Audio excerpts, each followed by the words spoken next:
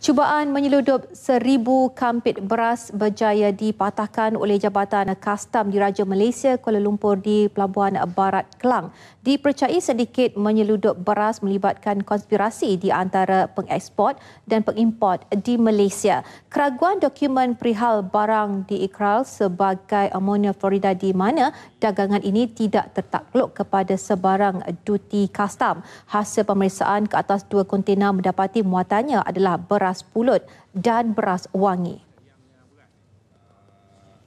Uh, syarikat ini tidak pernah dikeluarkan uh, AP ataupun lesen import uh, untuk mengimport beras dan uh, uh, seperti mana yang diikrar dalam burang kastam berkenaan uh, dan uh, burang yang diikrar itu adalah burang palsu yang mana dia telah mengikrarkan uh, kontena ini sebagai uh, amonium fluoride uh.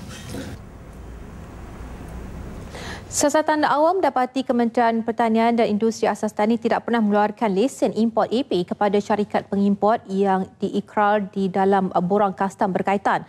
Dua lelaki tempatan dari syarikat ejen penghantaran ditahan untuk membantu siasatan. Kes disiasat di bawah Seksyen 135-1-G Akta Kastam 1967.